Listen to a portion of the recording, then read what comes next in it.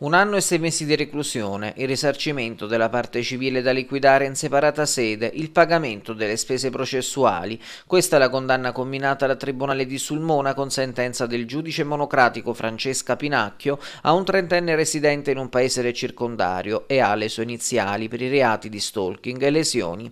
I fatti risalgono al 29 agosto 2016 quando il giovane aveva avuto una relazione amorosa con una donna di Sulmona e quella mattina di tre anni fa, dopo aver trascorso trascorso la notte insieme, il trentenne ha strattonato la sua compagna, procurandole lesioni giudicate guaribili con una prognosi inferiore ai 20 giorni, come attesta il referto medico emesso dal pronto soccorso dell'ospedale di Sulmona.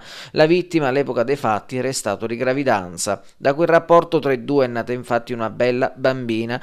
Nel processo risulta persona offesa anche la madre dell'ex compagna del trentenne. La donna avrebbe ricevuto una serie di telefonate minatorie dal fidanzato della figlia, una delle quali un mese prima dell'aggressione in casa, un particolare che l'avvocato del trentenne, Adele Buccini, ha fatto notare in sede di discussione del processo. Sarebbe stato proprio la donna a esortare il fidanzato della figlia a restare accanto alla prole quella notte del 28 agosto per non lasciarla sola. Poi si arriva all'aggressione denunciata il giorno dopo. Nel capo di imputazione la magistratura ha contestato al trentenne trentenne anche il reato di stalking nei confronti di madre e figlia. Come muratore infatti il giovane lavora in un'abitazione a due passi dalla casa delle due donne e secondo l'accusa ne approfittava per osservarle e per controllare tutti gli spostamenti. La relazione del trentenne e la giovane è finita quella mattina del 29 agosto, ma lui non si sarebbe arreso, tant'è che la inseguiva nella stazione ferroviaria quando lei prendeva il treno per raggiungere l'università.